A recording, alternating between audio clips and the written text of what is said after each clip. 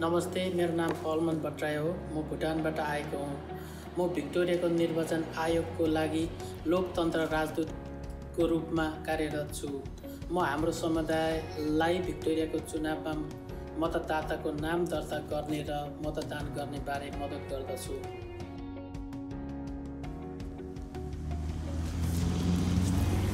अक्टोबरमा हाम्रो स्थानीय परिषद यानि कि काउन्सिलको चुनाव हुँदैछ।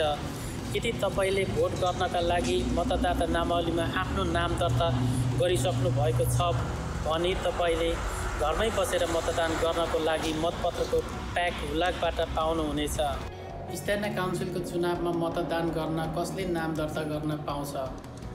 अठार वर्ष र सोभन्दा बढी उमेर पुगेका सबै अस्ट्रेलियाका नागरिकहरूले यदि तपाईँले मतदाता नावलीमा आफ्नो नाम दर्ता गराउनु भएको छैन भने कृपया दर्ता गराउनुहोस्।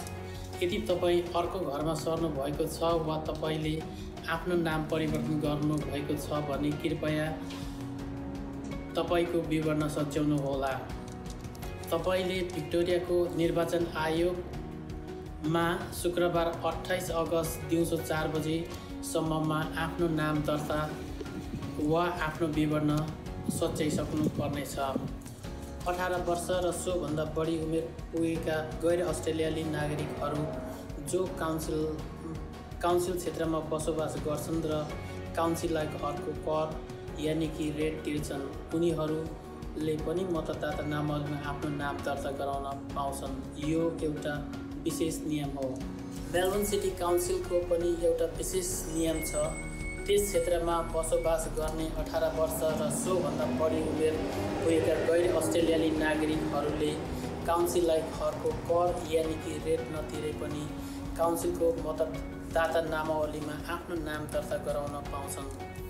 मेलबर्न सिटी काउन्सिलमा मतदान गर्ने सम्बन्धी थप जानकारीका लागि मेलबर्न सिटी काउन्सिललाई सिधै सम्पर्क गर्नुहोस्। यदि तपाईँ अस्ट्रेलियाको नागरिक होइन र मतदान गर्न चाहनुहुन्छ भने आफ्नो नाम दर्ता गर्नको लागि शुक्रबार अठाइस अगस्त दुई हजार बिस दिउँसो चार बजीसम्ममा आफ्नो काउन्सिललाई सम्पर्क गर्नुहोस् हाम्रो भिक्टोरिया निर्वाचन आयोगको वेबसाइटमा मतदाता नावलीमा नाम दर्ता गर्ने फारम छ W W dot VEC dot VIC dot GOV dot AU यदि तपाईँलाई आफ्नो नाम दर्ता गर्न मद्दत चाहिन्छ भने कृपया नौ दुई शून्य नौ शून्य एक एकमा फोन सम्पर्क गर्नुहोस्।